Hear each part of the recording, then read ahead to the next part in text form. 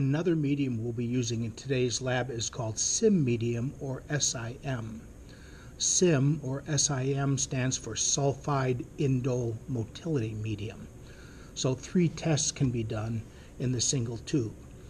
The medium contains a sulfur compound, and if sulfur is reduced, hydrogen sulfide or H2S is produced. So this agar can detect hydrogen sulfide production. If hydrogen sulfide is produced, then it reacts with iron salts in the medium, producing ferric sulfide, FeS, which is black in color. So we can detect hydrogen sulfide production by the fact that the agar turns black. This medium also detects the production of indole. Some bacteria can take the amino acid tryptophan and break it down into molecules of indole, pyruvic acid, and ammonia. If indole is produced, we can detect that by adding Kovacs reagent, which is an indole indicator. Indole reacts with Kovacs reagent and turns red. So we have the three SIM tubes that we inoculated in our previous lab. And the first thing we need to do then is to add the Kovacs reagent to the medium. So when we do this in lab, I'll be adding the Kovacs for you. You'll bring the tubes up and you're going to remove the three caps.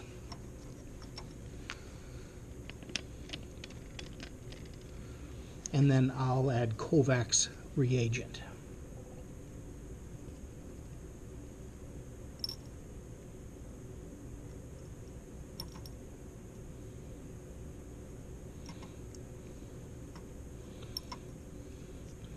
Just a little bit more.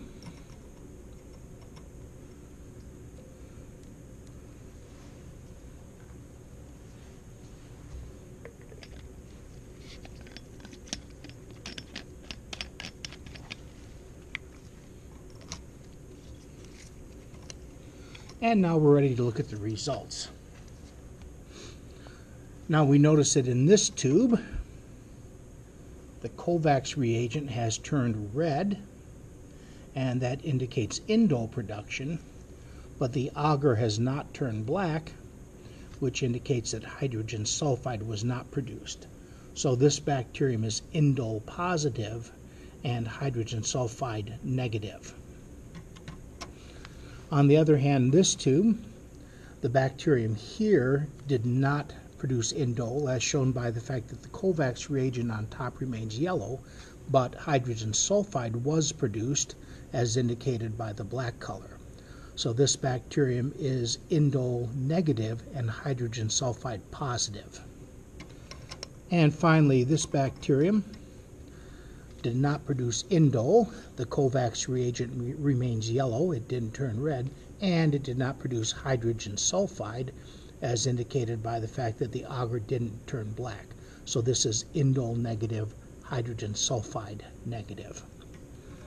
And that's the way that the um, sim medium is interpreted.